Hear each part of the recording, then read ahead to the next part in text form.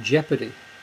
How to make, prepare and play it, both online and offline.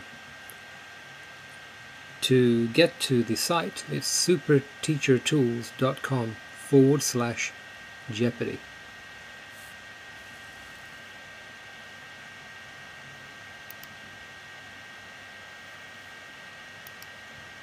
So, this is the homepage for, for the site.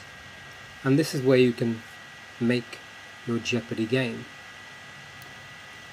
You scroll down, then you can click here to see Flash Jeopardy in action. Just have a very quick look as it uploads.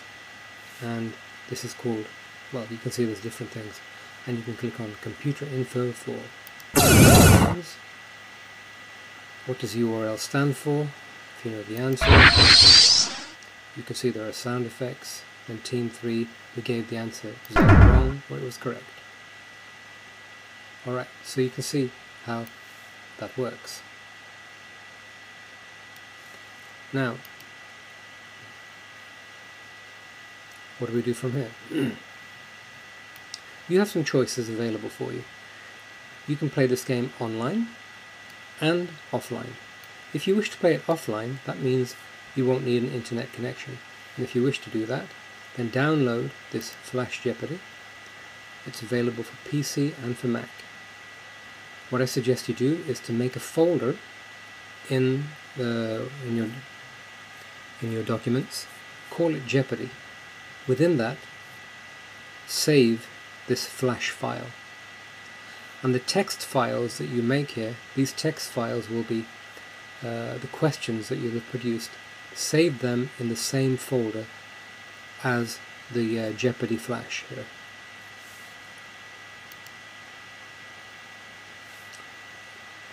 So why don't we go ahead and make a new game. By clicking here, you come to these categories. And if you scroll down, then you can give this game a name.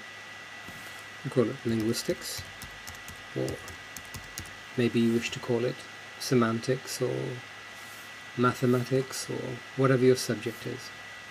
Who made the game? Write your name there and write your email. Now, the reason for this email, this is optional, but if you do write your email, then you can go back to this main site and edit your game here instead of having to edit it within uh, the text document itself because it's easier to edit it as, uh, on this site.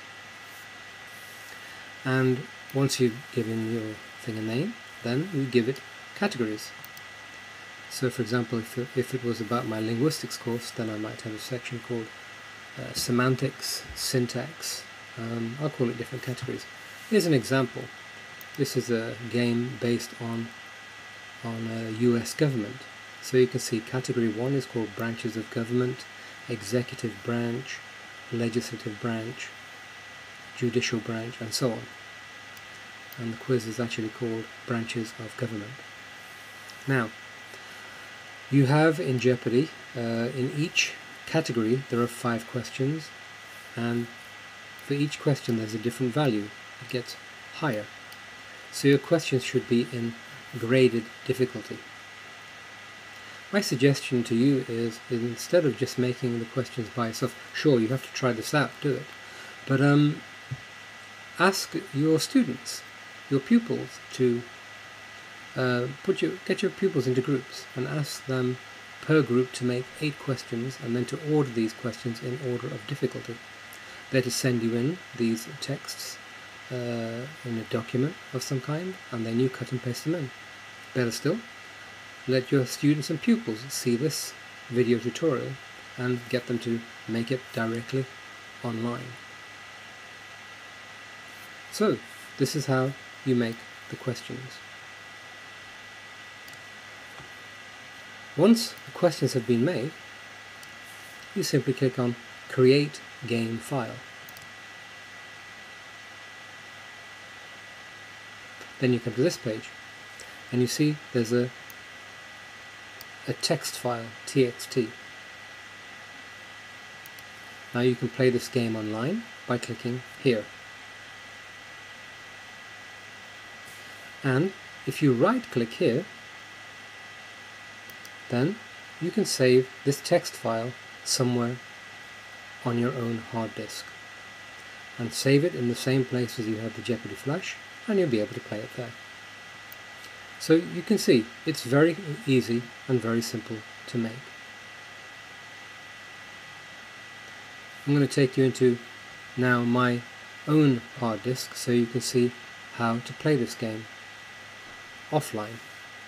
So to do that I've made a file here called Jeopardy and you see in Jeopardy there's my flash file and here are my texts here so I'm going to click on this flash file here and I'm going to remember I'm going to, I want to bring in this text here it's called grammar.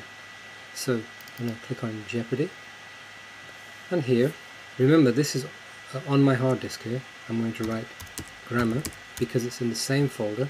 Click on load file. And now I can begin to play. And these are questions I've made to, about grammar. So that's how to play it offline. Back to the main page and you've already seen how to play it online. Now what else can you do? There's quite an amazing game library here. And if you click here then it'll take quite a bit of time to load this page. And the reason is because there are many many Jeopardy games. These are made by different people. Um, and as you can see unfortunately there is no search button which is a real shame. Otherwise we could have um, searched for games to do with uh, our particular subject areas.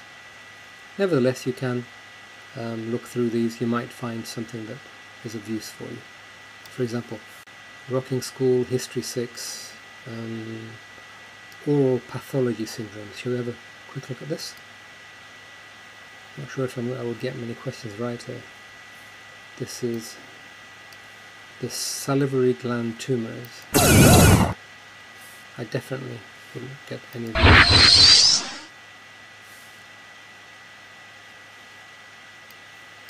Once again, let's go back to the main page. Another aspect is um, we've already seen how you can play online, and there are some more tutorials for you, things that I've said here, but also how to insert pictures into my questions. And there's a nice little uh, Adobe Flash presentation which talks, which guides you through how to insert an image.